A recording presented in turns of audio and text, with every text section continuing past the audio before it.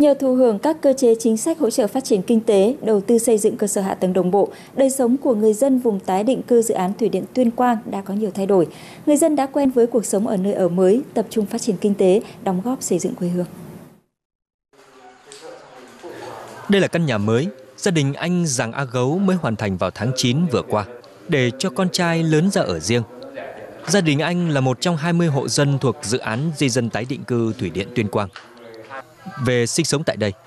Cùng với việc phát triển kinh tế gia đình trên diện tích đất sản xuất được cấp, anh còn đầu tư máy bừa, máy xay sát để làm dịch vụ. Nhà nước cũng được hỗ trợ tí đường xá điện điện đón thì các thứ cũng đỡ hơn rồi. Mong các cấp chính quyền quan tâm hơn nữa đến cuộc sống của bà con nhân dân. Thứ nhất là về cái đường xá đi lại đến các cái khu vực trồng cây, trồng rừng và làm sản xuất nông nghiệp.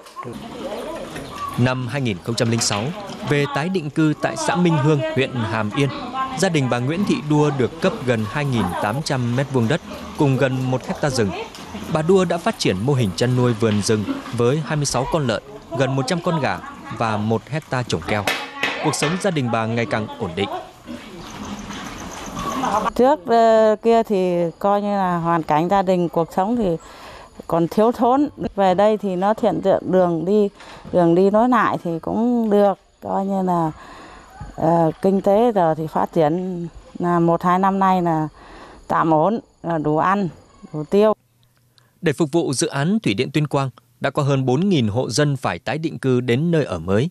Đến nay, tỉnh Tuyên Quang đã giao đất ở cho 100% số hộ di dân, giao đất sản xuất cho trên 3.000 hộ, hỗ trợ đào tạo nghề cho 845 lao động, xây dựng trên 2.300 hạng mục công trình hạ tầng cơ sở tái định cư.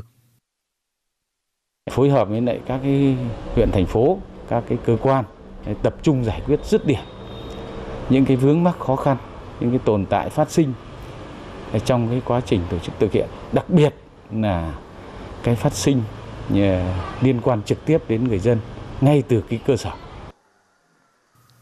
Tỉnh Tuyên Quang tiếp tục xây dựng kế hoạch làm việc với các bộ ngành liên quan, đề nghị cấp đủ và kịp thời các nguồn vốn, tổ chức thực hiện những nội dung còn lại của đề án tổng thể di dân tái định cư dự án thủy điện Tuyên Quang. Đồng thời tỉnh cũng tạo điều kiện tối đa giúp bà con tiếp cận được các nguồn vốn để phát triển sản xuất, ổn định sinh kế tại nơi ở mới.